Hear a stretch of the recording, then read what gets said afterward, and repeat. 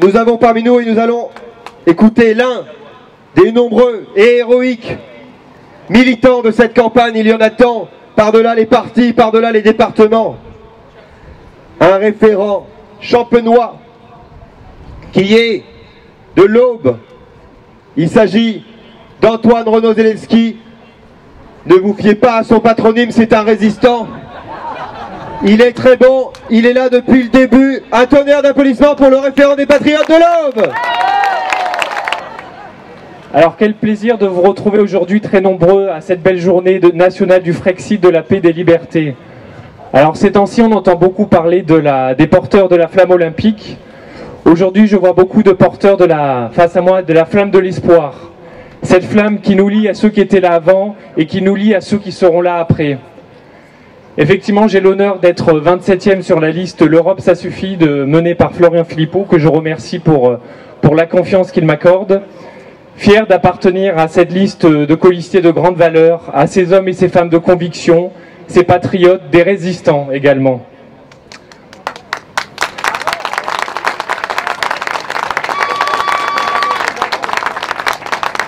J'ai été accueilli il y a deux ans sur les, sur les terres en, en Champagne-Ardenne et je suis fier de représenter sur notre liste ce département rural. Ruralité, territoire oublié, martyrisé par la mondialisation sauvage. Cependant, la diagonale du Vine n'est pas vide de patriotes. Au contraire,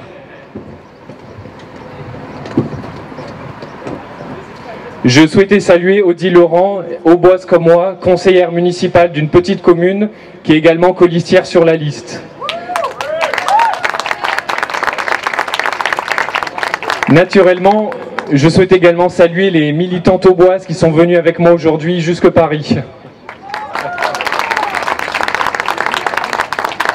Justement, la magnifique équipe des Patriotes de l'Aube sur le terrain, jour après jour. Alors aujourd'hui, on l'a, lâché pour, pour quelques heures, mais on y retourne demain, pendant que d'autres, d'autres travaillent pour nous aujourd'hui. Et justement, sur le terrain, nous entendons bien que les Français ne veulent pas voir leur pays disparaître. Mais alors, les Français seraient-ils attachés à l'Europe?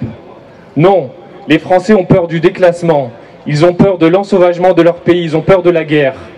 Et on leur dit que l'Union européenne serait leur protecteur, l'Union européenne serait leur sauveur. Donc là, on a une, vision véritablement utilitariste. Contrairement à la France, la France dont on est tous attachés viscéralement, c'est pas une question c'est vraiment une question d'attachement, 1500 ans d'histoire. Donc il faut expliquer aux Français les choses. Vous ne voulez pas la guerre, il faut sortir de l'Union européenne et de l'OTAN.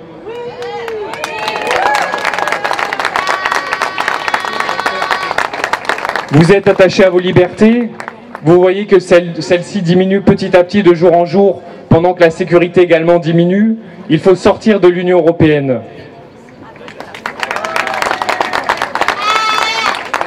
Et vous voulez bien sûr que la France continue d'exister, il faut sortir de l'Union européenne.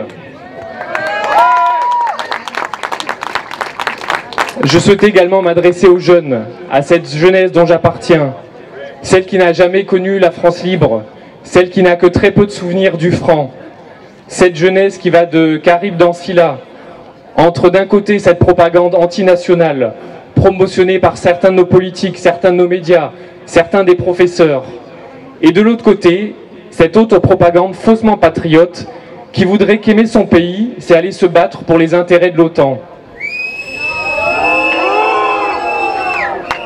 C'est-à-dire les intérêts, contre les intérêts de la France. Mais pourtant, j'ai l'espoir que le salut vienne de cette jeunesse éveillée, amoureuse de son pays. Ensemble, reprenons notre destin en main. Soyons droits, fiers et haut les cœurs. Vive la France libre